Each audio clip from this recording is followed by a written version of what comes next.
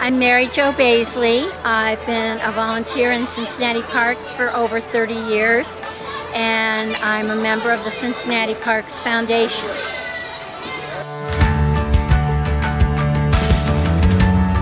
When I was a Girl Scout living in Clermont County, our day camps were held at Stanbery Park in Mount Washington.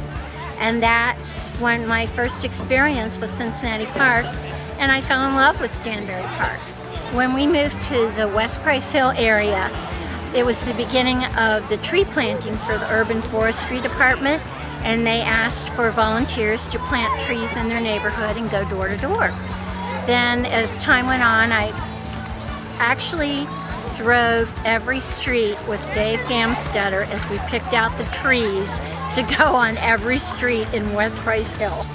It's hard to pick out a favorite park. I love all the parks in the Cincinnati Park system, but I think Rapid Run holds my heart because we've had so many fun times here over the years. We started canoeing about 25 years ago. Nature's Education had the canoes.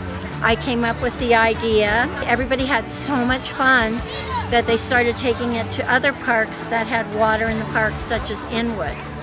It's a great success and now we have the second generation. The parents canoed as children and now their children are canoeing.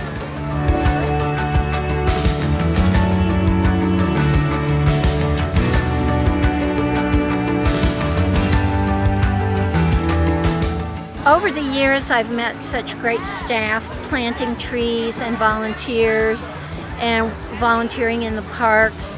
And I guess my favorite has been the programming in Rapid Run with the children and their parents and the family groups and how much fun they always have when they're here. I was very surprised when I received the Phyllis Smale Award this year. I volunteer in the parks because I love the parks and it was quite an honor to receive this award. I want to say a thank you to the Women's Committee for all they've done, and I also want to thank them for um, giving me the Smale Award.